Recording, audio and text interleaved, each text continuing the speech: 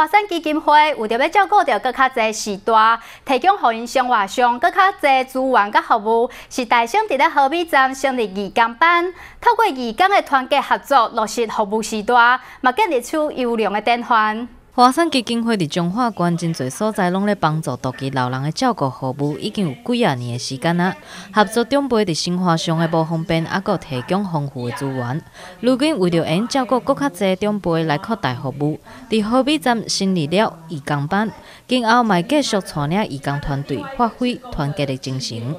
何站长进来之后，大概这样已经五年了，我也跟他在他的身边跟随了五年，那很高兴，就是说。今年他真真的是看到他开花结果，因为他真啊刚开始的时候在创立的时候是真的很辛苦，是从无慢慢到现在有，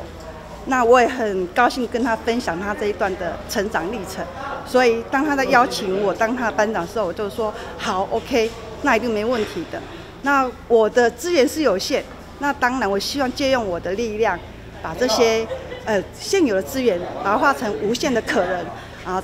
帮助更多需要支持诶帮助的老人。那今天很开心，我们在和美镇成立我们彰化县第一个义工班。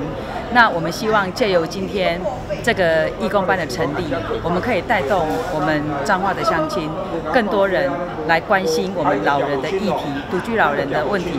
越来越严重，那需要大家一起来关心我们厝边的老人家。那我们希望借由今天这个成立的大大会，呼吁更多我们彰化的乡亲，我们一起来关心我们厝边的老人家，让我们。这些乡亲的老人家能够在地老化，老在乡里。义工班嘛特别举办生日大会，感谢义工登记以来的贡献。官员顶人嘛来到现场祝福，肯定因努力的精神，嘛愿意全力协助。华山基金会扩大服务，照顾更较侪需要帮助的长辈。伫咱河尾这边，遮甲何站长呢登记呢？啊，啊，恁呢拢有咧甲伊配合呢？啊，去访视一寡独居老人吼。啊，今仔呢，因吼有这个荣幸呢，啊来参加这个啊华山基金会呢，啊非常非常的啊，感肯定吼。啊，亲像伫铁山里啊，有一个独居老人啊，迄十二个 tuổi 怎会当足寒的吼，啊寒啊皮皮喘，啊，阮这个班长发现着尔吼，就联络这个中华关社会诶关长的社会处吼，啊来个送去这个养老院，